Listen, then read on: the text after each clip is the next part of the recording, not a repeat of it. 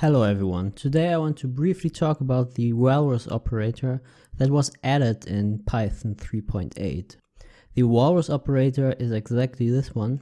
It's the um, colon followed by an equal sign and it is supposed to help us replace um, expressions like this one that are not really assigned to anything. So here we have, we just create some data which is just random random data. And I want to count how many times the number 5 occurs in that data. And I only want to do something with the um, amount of times. So specifically uh, the count. I only want to do anything with the count if it is non-zero. So if it evaluates to true in this boolean context and I want to do something with it. And the thing that happens is that this expression, after it's evaluated, the value is not assigned to anything. So the the the result of this expression just falls apart. It evaporates. So since I want to in here in this if statement print the result of data.count, I need to call the data.count function again.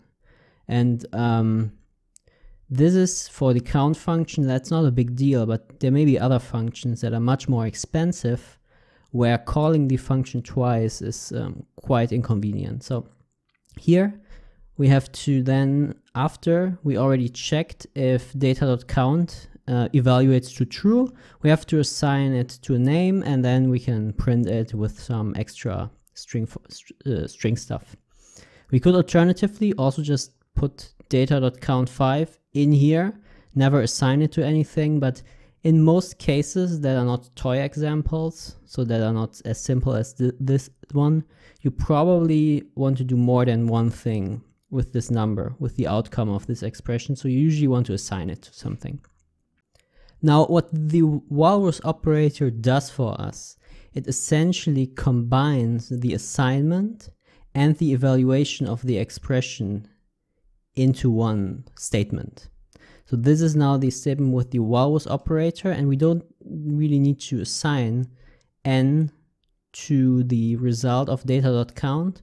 We can just use n because the walrus operator um, essentially says take this expression, evaluate it exactly like it, it happens up here.